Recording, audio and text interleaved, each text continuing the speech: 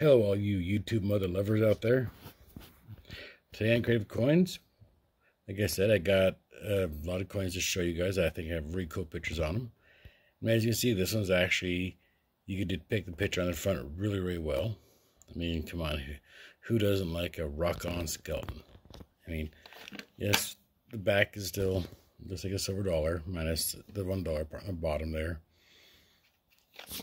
But still, I mean, rock on.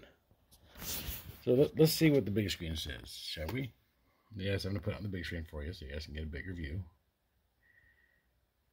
And that's sweet. I mean, you gotta admit, that is pretty cool. They did the hair, the hat. Uh, I guess the cheekbones are right, but I'm not really sure about that, and the jawbone.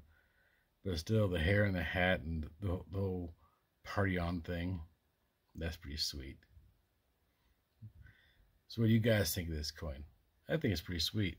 I think I'm going to leave all the ratings up to my viewers to tell me what they think of these coins. I'm going to show them.